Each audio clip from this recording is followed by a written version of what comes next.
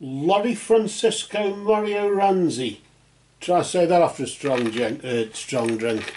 Uh, uh, in the uh, uh, another one you've got to try and say as well in the free psychic readings and spiritual connections group on Facebook. So try to say both of them or both together. Um, I got lost halfway. Um, uh, requesting a, a relationship, uh, uh, love type uh, uh, uh, reading here. Um, got a twin flame or somebody she thinks is a twin flame, and naturally hasn't seen him for hasn't seen him for over a month. So what's going on here? We'll shuffle the cards, and as we shuffle these cards, we just ask for the truth on behalf of Lori Francesco Mariorenzi uh, concerning uh, this love issue. It's a twin flame question here. And we ask for guidance and insight in the name of truth, right conduct, peace, love and non-violence. Blessed be to the truth always. And where the deck splits, is where it's thought to be at its most energetic point. So effectively, uh, the top of the the centre of the deck is in, on top, isn't it? Uh, so what we do, just place things to the side there, uh, Lori, and, and then I'm going to deal out three cards. Uh, the first card we deal is in the possession of your recent past. Because you asked a question, of course, we can provide an answer in the sense that the meaning of that card will, will, will, will be linked to what's been going on in the recent past, won't it?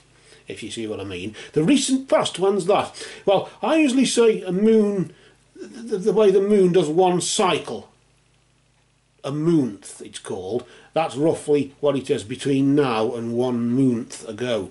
About three or four weeks or so usually, isn't it? About 20, just under 27 days, 27 point something days. Um, the next card is, I suppose you could say it's about like three days behind, three days ahead. It's sort of nowish, isn't it? That's the present. So we just place that there. So we've got the recent past influence, the present influence, and then the next card, of course, naturally will be the immediate future influence. This is, of course, a month between now and, and the next month, uh, within the next month period. And, and, and, and, and that uh, the, the, meaning of that card vibrates with that, doesn't it? And, and, what's going on there. So let's see. Of course, we asked in your in, in, in your name what words are true, and hopefully, then we will will get something from this. Um, is he your twin flame or what, what, what, what, what is the crack? Let's pull out the first card. We'll pull out the card here. And I suppose we're establishing the situation, aren't we? Because it's like the sort of beginning, middle and end of story, isn't it? In the sense of what was going on, what, what, what, what, what was vibrating then, as you would say, between now and then. We'll just flip uh, this card over. Flip it nice and slowly there, not to disturb its energy. And notice here... Um, uh, we've got the energy of the wolf. Uh, that's uh, usually the wolf, of course, symbolises trust, symbolises uh, um, loyalty, doesn't it? Uh, but of course, in this particular case, the wolf, who, who is no doubt your guardian or has been your guardian just recently, your power animal maybe, uh, is just basically saying beware who you trust in the sense that you should have beware or you or beware who you trust is it beware or beware of you, you trust? You should have beware who's your to your trusted. Uh, you should have been a bit more careful. Um, maybe you trusted somebody too much when they said what they said or when their actions sort of hinted at what they hinted at.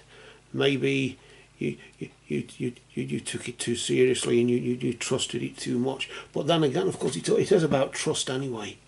But trust is like virginity, isn't it? Once you lose it, you are... Uh, it begins with F and ends with K. It's actually not a word. It's a it's an abbreviation. Full unlawful carnal knowledge.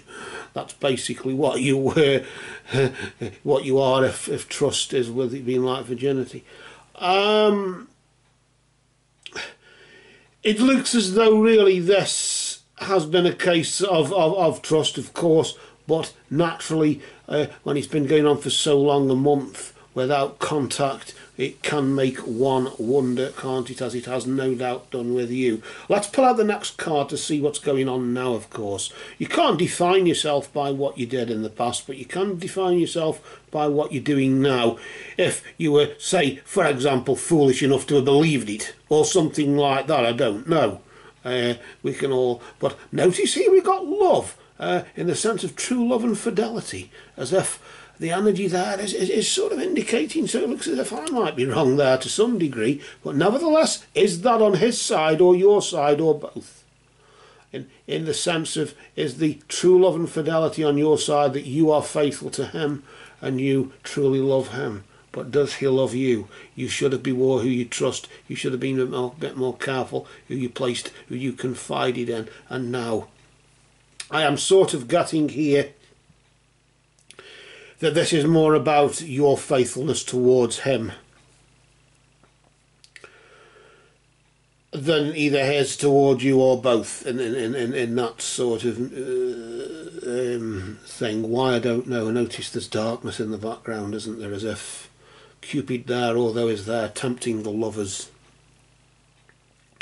or there to entice the lovers nevertheless. In, in the tarot, uh, in, in, in, in the tarot, of course, there's third person standing there. Is that the devil tempting the lovers, or is it a priest consecrating the affair? I don't know. But certainly, this is more faithfulness on your part. I think this has been done with more hope than purpose, Larry. I think that's what it is, isn't it? Let's, nevertheless, uh, pull out the next card. I could still be wrong. Maybe I hope I am. Let's just pull out the the third card here that represents the immediate future. If negative, forewarned as forearmed. So in an ironic sense, it can be positive, can't it? But of course, beware of complacency if positive. It's positive-ish. I suppose we'll get away with that. You've got the key indicating that locked doors uh, will soon be opened for you in this particular case. Maybe the door to his heart that was locked maybe will be opened. Or of course, it's one thing to have the key to a door even, it's one thing to uh, have those locked doors opened, but of course it's up to you to go through those doors and make that decision to commit yourself. And I do sort of sense as though an opportunity there as the key may represent the opportunity for this uh, this relationship to develop maybe between now and within the next month period within the next three or four weeks or so, the next 27 point something days, as you would say, uh, or thereabouts. I could just take a look at the uh, the almanac here to see what um, around about what sort of time, if you were to use the moon phases, of course. Uh, from of course around about now is the next time to initiate any magic around about now the 26th of April would be any time to banish anything any negativity that's that's that's um, that's occurred maybe that lack of trust maybe either banish that or or banish this relationship completely and, and, and show your faith towards somebody else who may be coming along there as new doors open up. There's two ways of viewing that, isn't there? You, you've sort of got a you've got a sort of escape route there, haven't you? Really, in some regard. But of course, with regards to this one, if you want to initiate any magic, you do that on the new moon on the 4th of May at 22:45 UTC and of course any time for healing on the first quarter on the 12th of May at 1.12 UTC whatever that is where you are I don't know it's about five hours behind normally if you're on the west coast of America here from the UK um, and of course uh, the peak of magic comes at uh, 2111 on the 18th of May and, and, and then of course another time for banishing whatever happens on the 26th of May uh, so um, it's roughly from the 26th to the 26th here, isn't it? Uh, so, but I, I, do sort of sense a touch of um, a, a, a touch of, of, of, of darkness going on here uh, concerning this because notice there the treasury uh, with the key and the tragedy surrounded by that darkness as the as the heart of love is. Nevertheless, with even the lovers in the tarot deck, there is always that point where where the two lovers stand together but they look in the same direction as if he looks over her shoulder and she looks away as if to say, Is this really the one I should be with? Although she may wear a ruby ring indicating that passion or whatever, nevertheless, at the end of the day, is this really the one I should be with? Although I'm faithful to him now, I am standing right next to him. Nevertheless, I face away. And is this maybe the energy of the lovers in this this love card here that, that I'm sort of sensing within the darkness and the uncertainty that carries through into the future, but nevertheless new doors can be opened. Maybe that maybe that's the the the um, the break that you will need.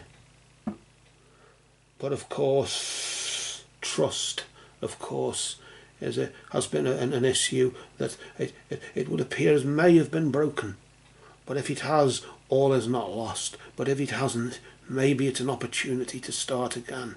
But for how long next time?